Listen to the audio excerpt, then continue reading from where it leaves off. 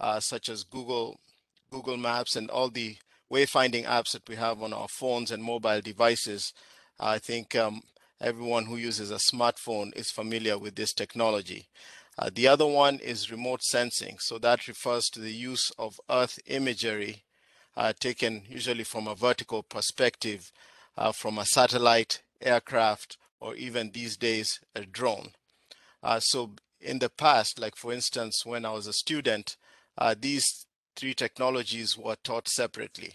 So GIS was uh, its own um, discipline and and and then the remote and and class and then um, remote sensing had a different curriculum and then usually if you wanted to study GPS or GNSS you had to go to into an engineering program uh, but now there's been convergence over the years and uh, so all technologies that are used to depict and study location location based data are known as geospatial technologies and whether we are aware of these technologies or not uh, they are pervasive and um, they're used everywhere. So you might ask, especially if you've not, if you're unfamiliar with uh, these technologies, why should you care about them? How how will how does this technology benefit your students or you as an instructor?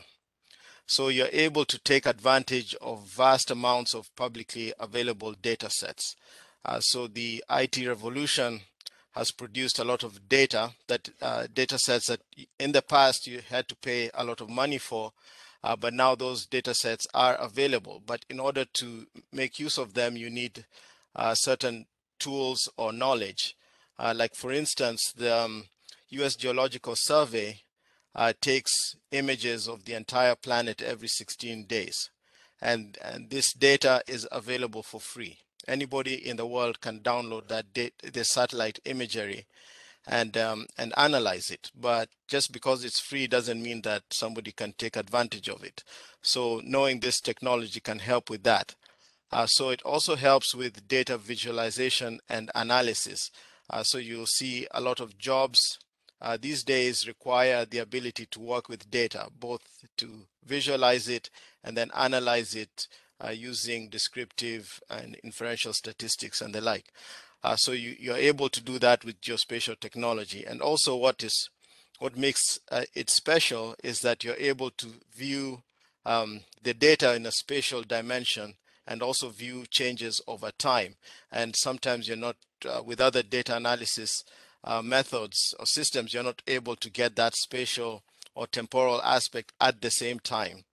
You're also able to do uh, digital storytelling, and I'll show you some examples in a minute.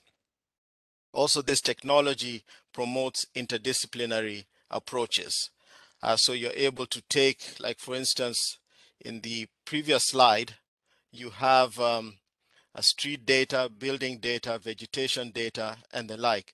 So the uh, vegeta the street data uh, that may have come from an engineer uh, the building data may have come from a, a, a contractor or, or structural engineer, street data from maybe a civil engineer, then the vegetation data could have come from a biologist.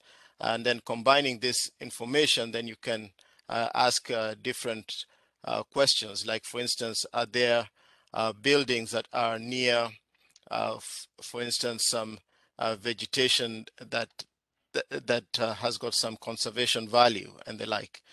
So so the, then the, your students, by learning data visualization, storytelling, and, and the like, they get some skills that they are able to uh, put on their resume and help them in their job. They don't have to be uh, seeking a job as a GIS specialist or analyst. Uh, they could be in a different field. They could be in marketing, emergency management, supply chain management, They could be uh, ecologists, epidemiologists. So all these are disciplines that use location data. So if your field uses location data, GIS is valuable to learn. And then also from, this can also just be a gateway uh, to learning advanced um, data analysis and software development uh, skills. Uh, in my case, I did work as a, as a software developer and I didn't enter into software development through the traditional path, which is uh, to get a degree in computer science. It was GIS that opened the door for me, and then I was able to enter that career. So, uh, so then uh, what can you do with it? Okay, so you're able to do these things, fine. But what, uh, so that some of the things you're able to do with it is that you're able to map where things are. So I think everybody by now is familiar with this COVID-19 dashboard that was put together by the, one of the centers at Johns Hopkins University. Uh, so since the beginning of the pandemic, this map has been the go-to reference uh, for policymakers, uh, individuals, as well as the media. And I remember at when the right at the even before it was uh, classified as a pandemic, um, myself and um, uh, Professor Tong Cheng in the biology department uh, took the, the data back in um, February 2020 and started to map the outbreak for her class. And she was uh, she she was able to use the data then, and she's still doing it up to up to now. Uh, so, but it expanded. Uh, first, the focus was just showing uh, COVID cases, death and deaths, um, and hosp- and um, and yeah, COVID uh, cases and deaths and and then also recoveries in the for countries but then over time you started to see subdivision uh, political subdivisions such as uh, states and provinces and the like and this is an interactive map so you can zoom in it's not static you can zoom in uh, click on a, dot and get some attributes so like for instance uh, this is data from Belarus in the last uh, 28 uh, days um, I'm not sure they picked the right country given the political situation in the world. But anyway, so here it shows the cases in the last 28 days, uh, deaths, and then the total cases um, that have occurred there and, and deaths in the country. So you can do that for any other part, part of the world. Uh, so so uh, GIS and geospatial technology help you uh, see where things are. If you're a teacher, uh, you can have your students create thematic maps. So these are maps that use colors and symbols to show a geographic distribution. So this is a map of the languages of India. So this is um, designed for a GIS class. To, uh, uh, you can use it for several disciplines. So one discipline could be a GIS class where the students are learning how to create uh, well-designed maps of this type as so the students are given step-by-step -step instructions to go through this. Uh, you could also use this in a world languages class if you happen to want to teach about the uh, distribution of languages in, in India. Uh, you could also use this in a cultural geography class if you want to talk about or teach students about the uh, distribution of languages. The Another thing that you can do is the digital storytelling. So this one has become a, is a very popular use of GIS. So what you're able to do is create interactive websites that have text, have uh, video, have images and maps to tell a story.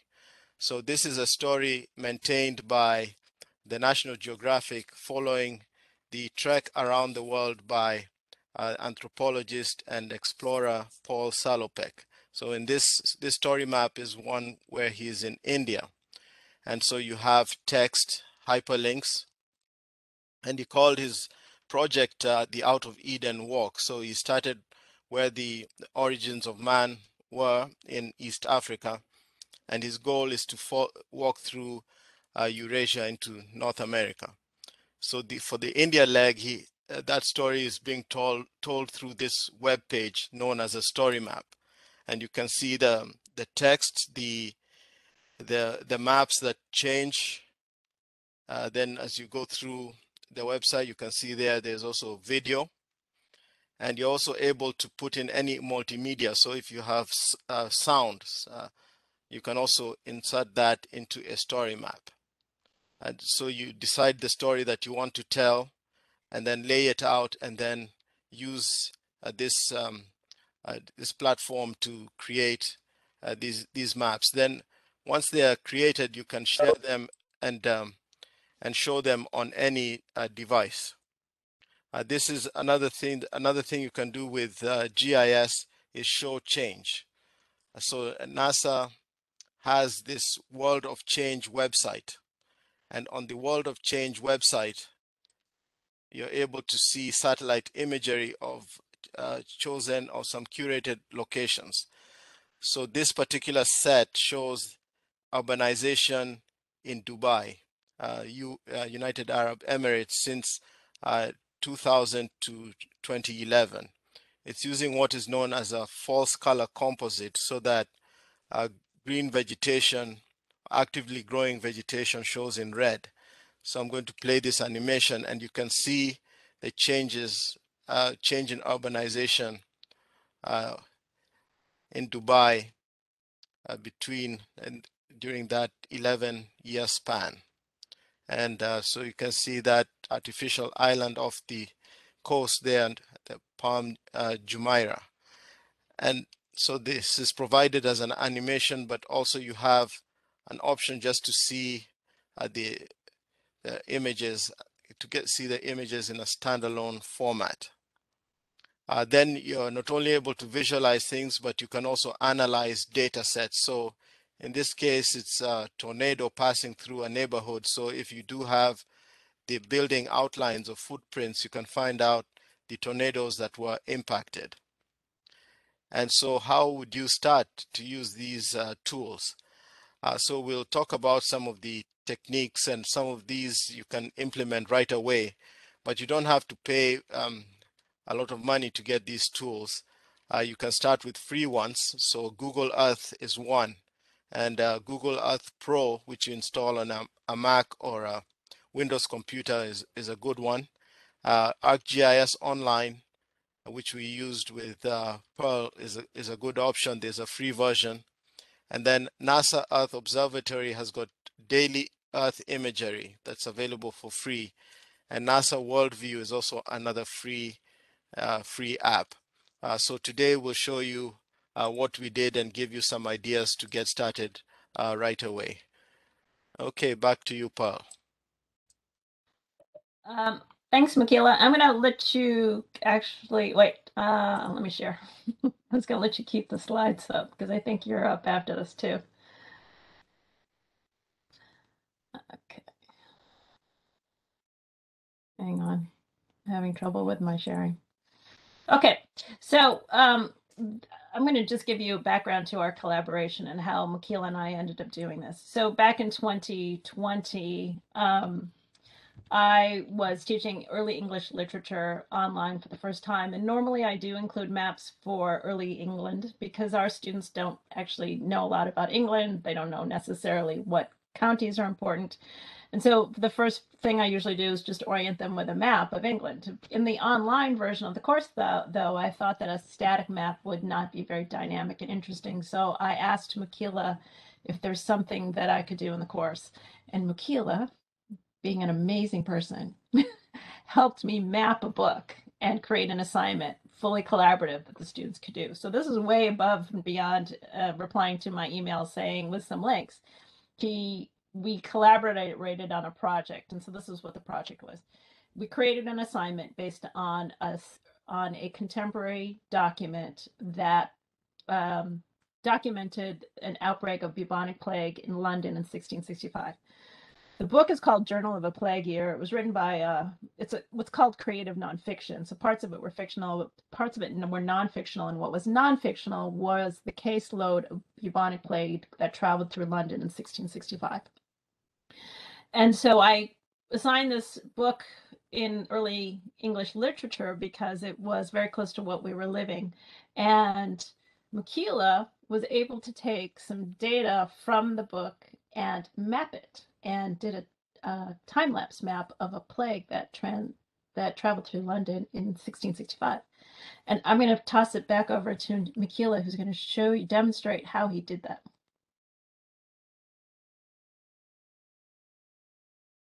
Okay. All right. Thanks, Pearl. All right. So the so what I'll start by showing what the students created in the assignment. So what the students did, so they created two maps.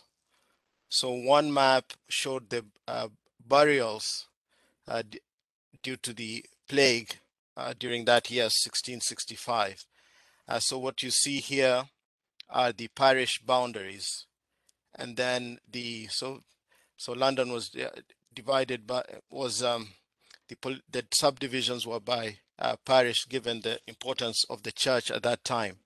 So here you can see, uh, and they did talk about the in the book about the the uh, on the west side of the city, like the Martin Martin's Fields, Saint Saint Martin's in the Fields parish area, having fewer cases than uh, let's say the the the locations to the south, but that's not necessarily apparent when you're reading the text. But by mapping that these distributions, then the students could could see them. Then the other one was an animated map that just showed the the deaths by month. Uh, so what you see, the red dots are the, the deaths th through that year, starting November 1664, going into fall 1665. Uh, so the so the red dots uh, represent deaths in the in the parish. So reported deaths. So so this was made so the students created both maps and were able to use them as they went through uh, the, the readings that Pearl gave, gave them. This was made possible by a, a, a project uh, by the Digital Research Center at Hofstra University. What they had done was that they had gone through the book and they had um, mentioned locations. So they geo, geo-referenced, uh, they had taken uh, uh, dates that deaths were mentioned, and then where possible, they had indicated a location. So like, for instance, you can see in 1664, the week of December 20th to 27th, the St. Bride's Parish, no deaths, but then St. James Clerkenwell has got eight deaths. So, so this information was provided in a tabular format. So what I did was to go through and then pick the locations that had a parish because some of them did not have parishes. So the entries that had a parish, I picked those. And there, there was a, a website where they mentioned that they had taken an old map, a map of London uh, from around that time, and they had uh, traced outlines of the parishes and had provided it in a format that was accessible in GIS. So I got that that file there were a few modifications to make to that file to complete the parishes. So I made those modifications and then there I had the data that the students could use. In terms of the assignment that Pearl mentioned, uh, so they got a packet and um, the packet uh, and this, we collaborated together to write this uh, packet and to make sure that it fitted, it was a good fit for the class. Uh, so they would so the objectives were to learn how to visualize um, the 17th century London using maps and multimedia, and then compare the, the London in both times using maps, and then visualize the spread of the plague. Okay, so then they so they had the first thing wasn't ArcGIS. They used the map of early modern London which was also from around that time, but it this this map was created from a block, an engraved map that was en engraved on a on a large block of wood, and then if this was transferred to a website. But the so what it shows you is London within this the walls, and you can see that okay in the outlying areas you can see fields. So what we asked the students to do was to look at, in the book, they talk about this uh, Bishopsgate Street and Bishopsgate. So the London Wall, which was um, which had been there from uh, when the Romans, uh, from Roman times, uh, so that wall was was there and marked the boundary at the time. And so you can see that on this, um, and this is an interactive map. So by zooming in, you can see that on the along this Bishopsgate Street, once you move north of Bishopsgate, you see agricultural fields. So that was the extent of the city then. Okay, so then we asked students to go to Google Earth and view Bishopsgate today. Uh, so you, this is uh, Google Maps, and you can see the well, there's London's the L London Wall. So there's some sections still there, but this is right in the heart of the city. So with tall uh, high rises, and we asked them even to to use this um, this street view feature, and then to to to go out and and and see that that area. So so I'm going to just drop this icon there. And so we had them go in and interact with Google Street View to see how London looks today and then compare that to how it might have looked back then. Also, it was important to point out to the world that the, as far as uh, Europeans were concerned, the world did not look like it looked today. So the lots of parts of the world were mentioned in the book as places where the uh, plague might have originated, like Cyprus and the Levant and so on. But the world back then to Europeans was not, had some, so this is a map of the world. So the, some areas were known and many other areas were not known. And uh, so they were filled in with uh, some imagination so so that also we asked the students to to keep in mind. And then they went through and uh, built the exercise. So they had step-by-step -step instructions to to guide them through uh, working through this.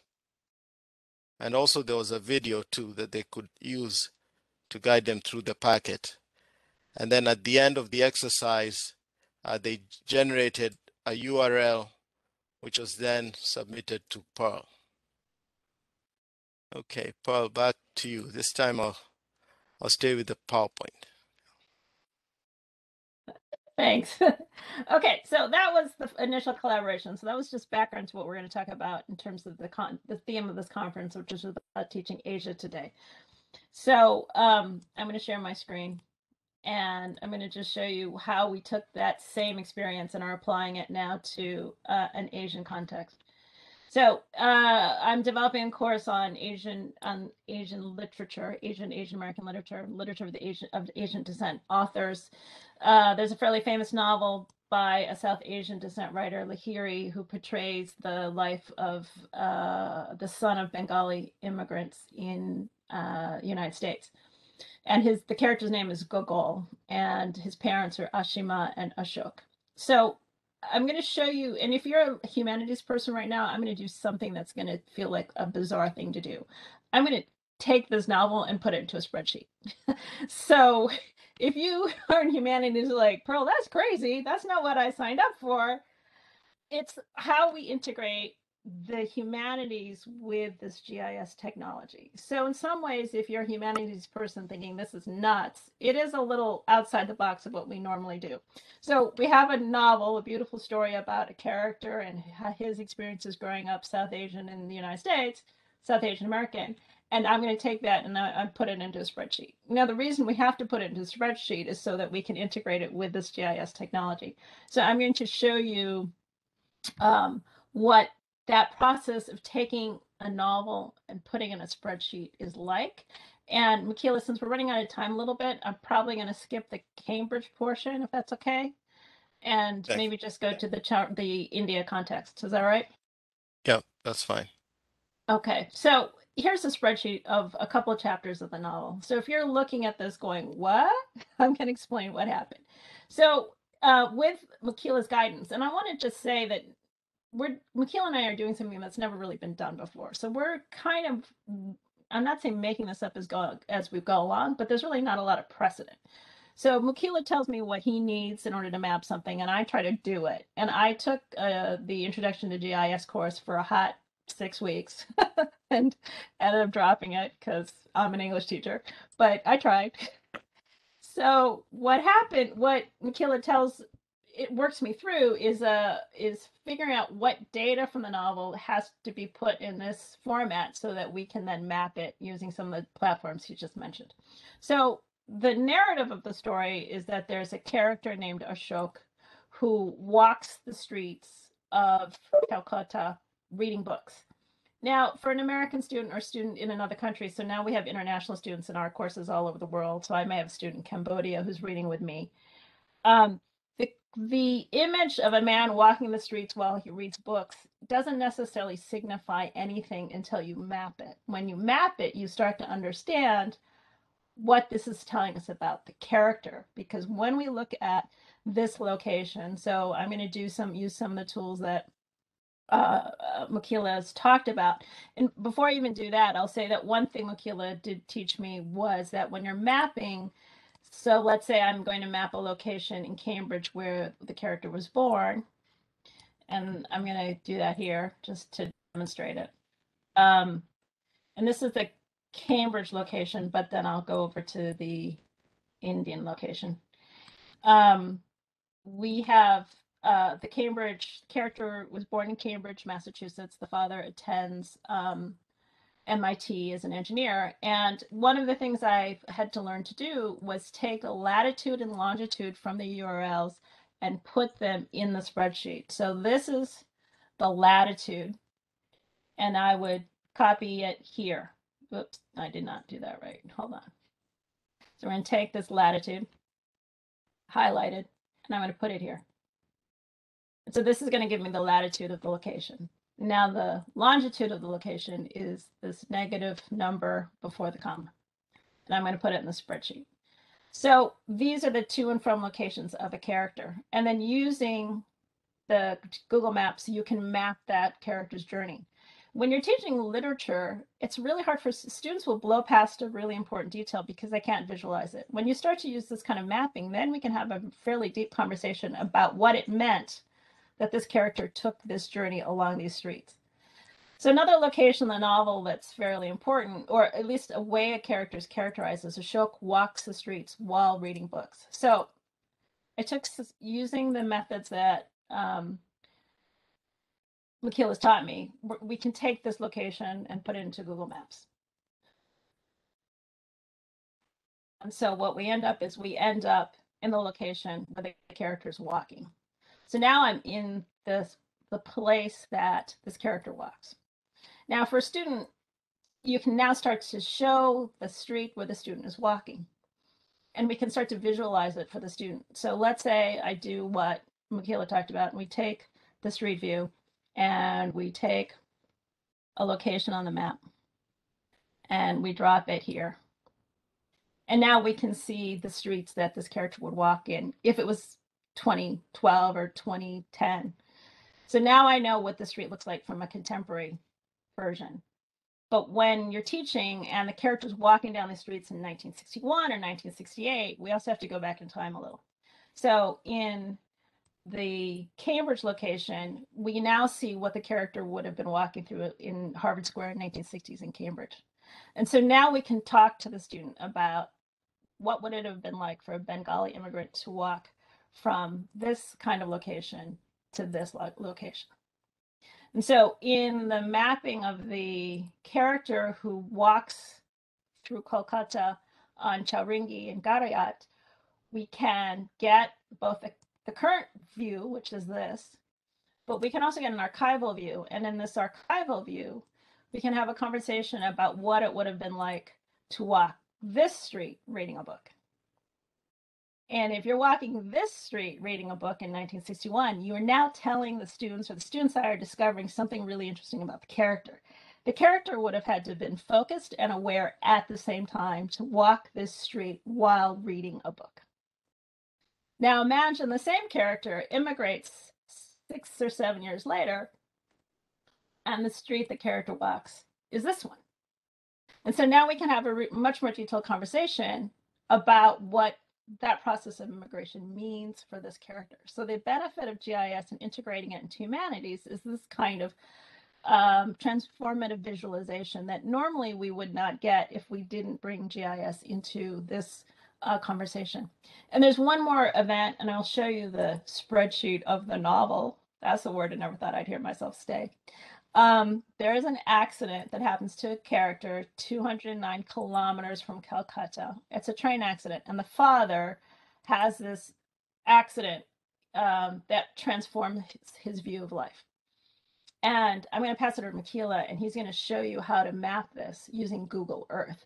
Now, when we talk about it just literally as a narrative, oh, he he had an accident, but it's really hard to visualize what this accident could look like without GIS. So I'm going to pass it over to Mukila, and Mukila is going to uh, map the train derailment. So Mukila, back to you.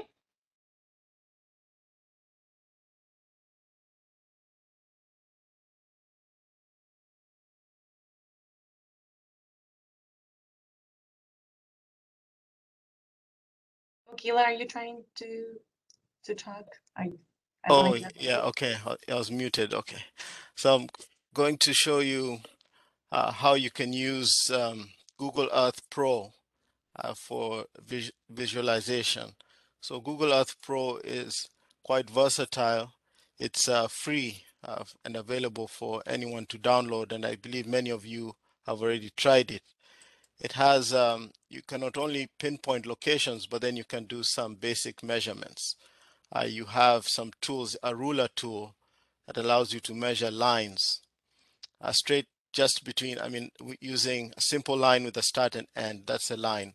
A path, you can uh, follow a line with many vertices. Then you can also uh, calculate the area of polygons and um, circles and, and the like, and do some 3D um, measurements. So that's what I'm going to demonstrate here.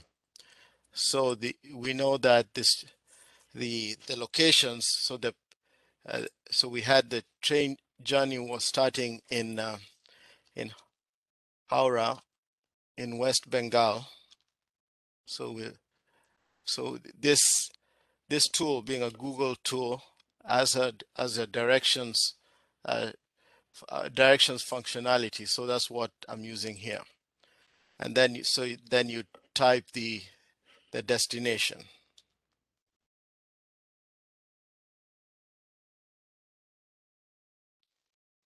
And then when you, you select get the directions,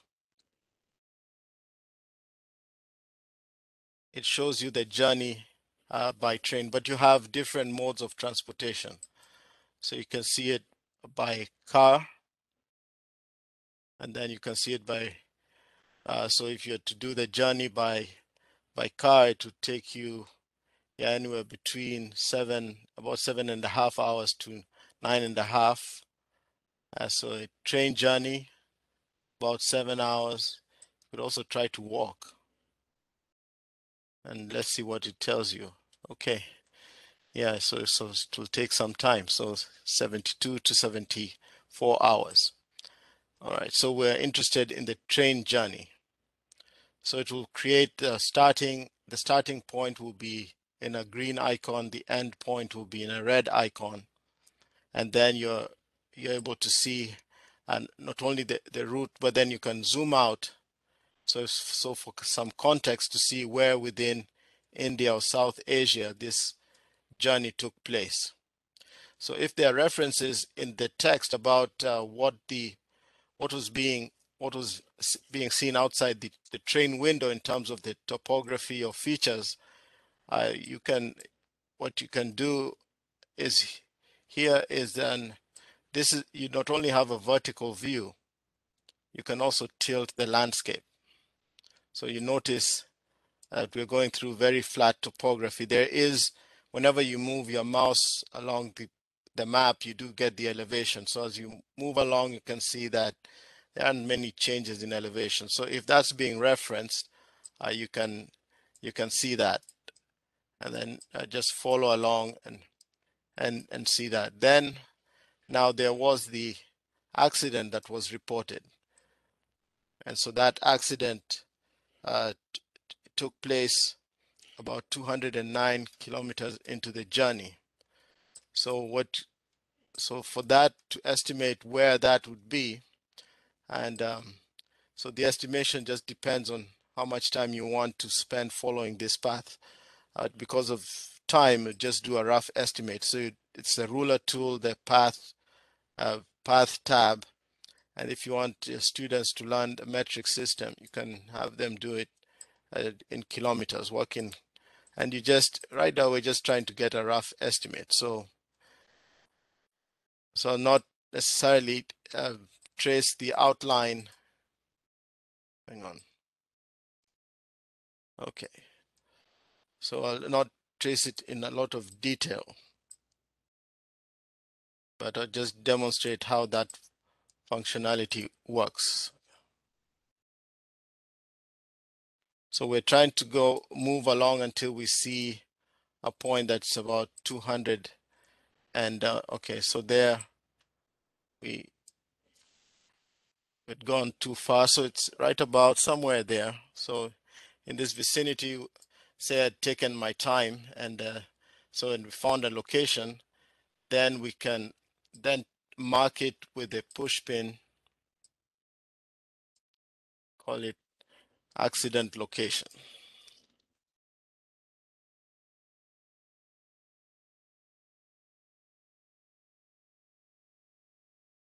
Okay then uh, you could even then save it as an as an image and even with a small map and and the like.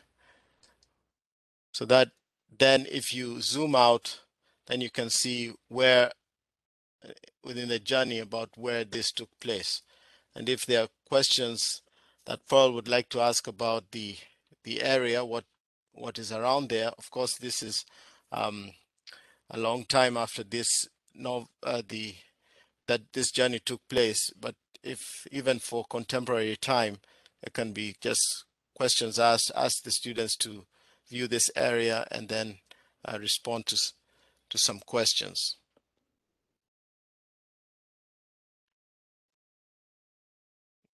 okay okay. Mukila, is it me now or you? yeah it's you now Okay. Okay, so that's basically an example of going back to the spreadsheet we created for the novel. Um, the row that Mukila was working on is um, an event in the novel that was entered into a spreadsheet, and it was called Ashok's train accident. And so these are some of the details. If you're mapping a novel, you're trying to find events that are can be geo-located, geo-referenced, and that are relevant thematically to understanding the novel, understanding the character, understanding themes. And so it helps a student who, might be reading about a country they've never been to to be able to visualize the landscape, the geography, the topography with GIS. Without it, they will basically place the events in a context that they understand. And that may not actually end you up with an interpretation of the novel that's the one that the writer would have intended. So this is why GIS is really useful. So in our last slide, um, we wanted to just talk about some overviews of why this kind of collaboration is really important to understanding global underst for global understanding, which is part of, I think, the work we're doing in the summit, is that it assists students in visualizing scenes that they cannot if they've never been to this country or the location. Um, it shows the impact of migration and travel on a character's perspective. So when we're reading novels in my discipline where characters travel from one, another, one country to another and create lives, you really have a much better appreciation and therefore empathy and compassion for the characters' mental journeys they have to make, the psychological ones, because the change in geography is as much an impactor impact as all the other things, education, culture, etc. Um, they can also uh, connect the, the relationship between distances and time frames. So the way we worked from the contemporary mapping to archival maps and archival scenes, I think helps show the change in a person or character over time. We've also found that it enhances online teaching and learning. So it's another dynamic engagement in an online situation. So we're creating a learning community that would be an online course. So if you're looking for higher engagement in an online course, particularly in uh, a lit course. This is this GIS is more hands-on than just reading and writing. And then I definitely think that Mukila and I have benefited from this interdisciplinary professional development, this interdisciplinary collaborative teaching and learning, because I took a GIS class, everybody. and I'm now actually presenting this work that we're doing together at um, a GIS conference in July. So now I'm going to a geography conference. So that'll be interesting. Okay, so Mukila, did you have anything else you wanted to add? Uh, mainly, I think you've um, summarized it very well. Just the a little bit more on the interdisciplinary part. So that is of high value to our students because a lot of times they don't appreciate the connections between disciplines. Uh, so they they'll take they'll take a an English class but not see necessarily how that can be connected, a literature class in this case, to uh, be enhanced by other disciplines. In, in if they were to take a GIS class, they might just be focused just on the tools themselves, so the mechanics of running a tool. But having this kind of collaboration shows them how these tools are applied in the real world. And that's the important thing. The important thing isn't the mechanics of the tools, the buttons they're clicking. It's the the impact uh, that they uh, that they have.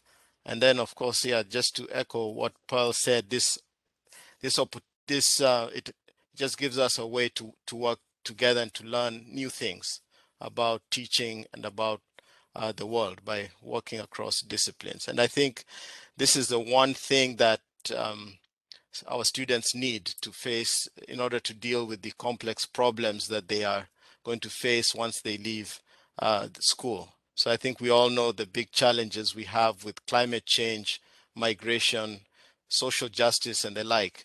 Uh, one discipline cannot solve all of them. Uh, so we all need to work together, and uh, GIS allows us to do that. Thank you, Mukila. I think, do we have questions?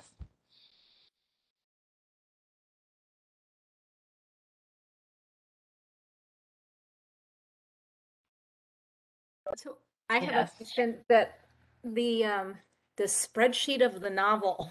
I mean, is that is that something that the two of you actually developed, or has that been? Yeah, this doesn't exist anywhere between except between us. So it is kind of innovative in the sense that as a literature scholar and teacher, there's no other precedent for research on this. There's no lit review. There's no for the first of my life, there's no lit review. There's nowhere I'm gonna go to look for comparable work. There isn't any. So that's why the presentation I'm doing in July at Esri Education Summit is so important because that's where we're going to sort of um, reveal the collaboration. So basically, Mukila and I have to kind of align our understanding of our disciplines, and I have to figure out what he needs to have in order to do GIS, and he has to know what my data environment is like. So things don't come out like straight numbers. I have to go figure out how to quantify an experience, which is kind of weird. But actually, in this COVID land, it actually works because we are quantifying these kinds of human experiences. So the GIS platform really works really well in that kind of meaning of disciplines. So yeah, I don't have any, we don't really have anything else to look to. Mukila, I don't know if you want to add to that. The no, just that this I mean, the spreadsheet is the basis for for the mapping because it allows you to capture. Because at the end of the day, you need to capture location in in uh, the coordinates, and you need to have a tabular form. So each incident needs to be like a row, and then the key thing is that you need the coordinates, and they don't have to be lat long. Lat long latitude longitude is the easiest to work with, so that's what we're using, and then the other th the other columns that you'd have there are just the important attributes or features that you want to to get. So as a GIS person, I couldn't, I mean, all I, I needed was the coordinates and the attributes, but what they were, so what was the import, what the attributes were, what we were going to map, that had to come from Pearl. So that that's where the discussion of what she was trying to get her students to to map or, or visualize through the mapping. So she had to educate me on that. And then I said, okay, based on that. Uh, so I think there was one case where uh, she was describing the first one where there was a, from and to. So initially, I thought that it was just one location, but after describing, she said, "Oh no, I want the students to understand a journey from one this this location to the other one." So that that needed, uh, so that's how we came up even with fo- the four columns, so that four columns for coordinates. So it's to capture from and a to location. So yeah, so so if somebody is work, so the GIS person working on this really needs the a person who's going to use this data to shape it, to shape what it's going to be. Yeah. Julie. Uh, first of all, just amazing. Um, it's what a really cool project. So I'm very impressed. Um, it- what has the student reaction been? How have Well, they- how just- have you have you noticed how they've been impacted by incorporating this? Well, we did. I knew I was going to need that data. Three years in administrative work didn't taught me a few things. Um, so I did some scholarship. Of I did action research. So we did some follow up. Uh, we had the written assignment. Then I did some follow up questionnaires, evaluative, to figure out okay, did this meet my learning outcomes, et cetera, et cetera. The problem was in the fall 2020, the student sample was so small because of where we were in our online lives that I only had eight students in the class and five did the project or you know some percentage but generally the experience was because and also it's you know fall 2020 so we were at the very beginning of the pandemic. So they can really connected with visualizing london during a pandemic because they were experiencing their lives in a pandemic. So that's where the resonance really happened.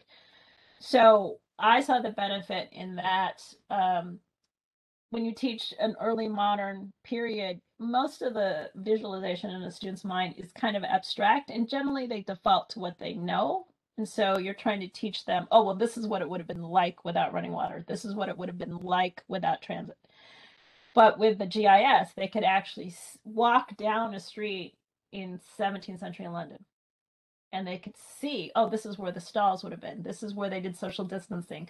This is how the food handlers used the food. So Mukila added a lot of value with all of these videos and making having the students make the map and then comment on contemporary London and mm, uh, 17th century London.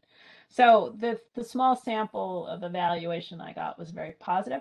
The one negative may have been that, um, and we Mukila and I talked about this. It was like all of a sudden they're in a GIS class, and so that pre knowledge of latitude, longitude, um, they didn't have that. So it made it harder for Mukila to design the assignment.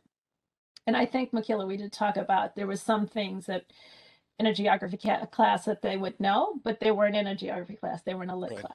So if I, we were, we were planning a learning community. So I think we'll align more of that. Mukila, do you have any else you want to add?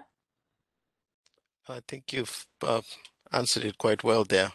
Yeah, I think Okay. that that and also just making the assignments, especially for students who are not in GIS, creating the assignment in such a way that it doesn't take away from the discipline that is integrating the technology, because it can be built in such a way that it just becomes all about the um, the mapping and the geography. And if it's if it's that's not the the point, then they miss the the the purpose of the assignment. Yeah. So yeah. So so in some earlier, I think with Pearl, I've gone through this a few times, but I think the first time I tried it, this kind of thing, it was just too heavy on GIS, and um, and so it took away from what the instructor was trying to focus on. So yeah.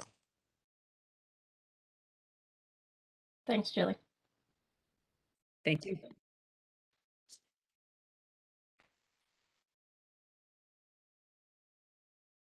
Okay, you guys cannot see my face, but yeah, I think that it's gonna be amazing and really good luck in the learning community. Do a, a lot of advertisement, a lot of flyers, because yeah, you know, you you guys have to make it. It's, it has been a challenge. I don't know why these last two years to offer learning communities. So do everything that you can, okay? So the students know about the class, and of course, we will Okay. help you guys too. All So right, thanks. Okay. congratulations again. Thank, Thank you. you. Could I ask the uh, attenders a question? The humanities, anybody in humanities, liberal arts? I've been doing this on my own. If you're in the liberal arts, does this look insane? this is like, I would never do this, Pearl. I would never break up a novel and put it in a spreadsheet. That's not what I signed up for.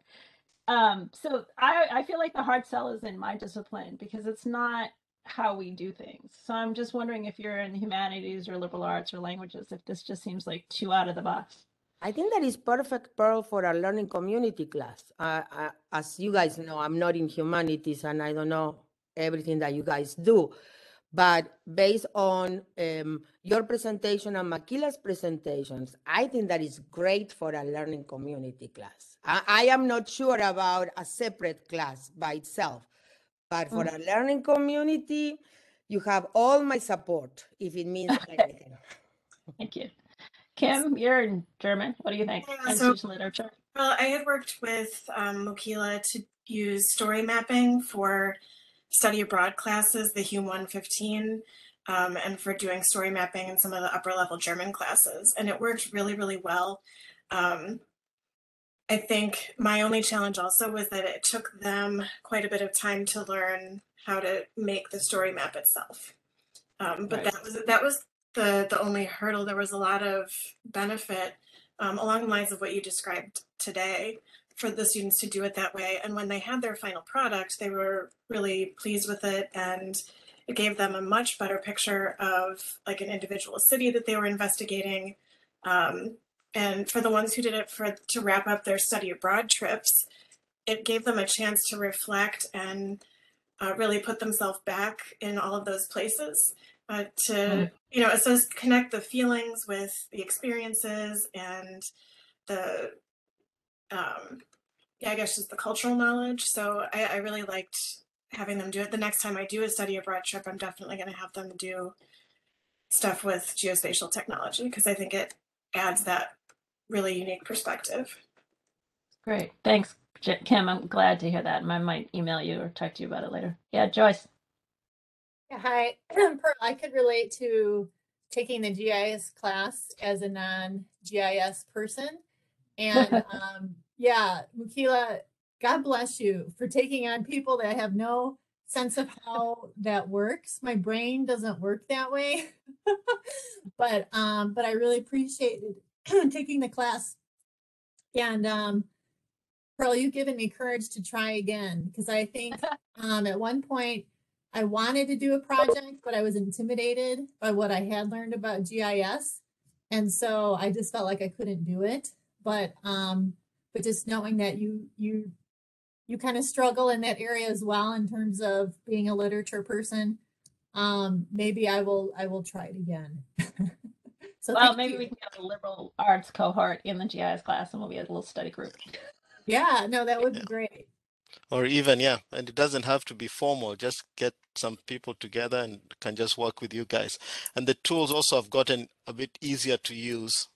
And also, in terms of um, approaching these things, I think that it can be structured in a way that doesn't make it as complex. I think one of the issues before was that you had to do a lot of data preparation outside GIS before you bring it in. But now there, there are lots of data sets that are embedded within the software. So you, you just have to do a, do a search and check a box and the data is in there rather than doing, I mean, the stuff that we used to do before, that's gone. Um, yeah, I mean, at least, you, I mean, it's still there, but you don't have to. There are options now. There are more options. Great. Thank you. Anybody else? One more thing, tell your kids to take a geography per class. See how important it is? You see it now, right? Longitude and latitude, they don't know anything. So if they take a geography class, they're all set. So you guys are gonna do great. Yeah, we'll make it. Well, hopefully my lit class will be the gateway drug to geography. uh, uh, Nellie, are we at time? Um, we're right at time. Um, so thank you, Pearl and Mukila. Thanks. This was really interesting, and I'm still wrapping my mind around how you map. Yeah, you map things that are not explicitly stated how you map them, but uh, this is fantastic. Um, uh, just to let everybody know, um, our next uh, International Education Summit is slated for November 4th, which is a Friday of the fall semester. And our, our theme for that will be sustainability and conservation. So we are calling, we're putting call out for proposals. So if you want to send a proposal into us, um, we'll send out an email soon. I, I want to also thank everybody for uh, coming in and, and enjoying these great speakers and uh, all this uh, information we learned today, a lot of food for thoughts. Uh, I want to please uh, urge you to share feedback. I put two links on the chat. Uh, we can only uh, improve if we, you know, if we know what we're doing, that it's working and what it's not. So please, your opinion is well appreciated. And thank you very much. Thank you. Thank you, everybody. Have a good Here's all rest. the speakers. All right. Have a weekend. Bye-bye. Have Yeah, a nice have a good Earth weekend. Day. Yes. Happy birthday. Bye-bye. Bye. Thank you. Thank you, speaker.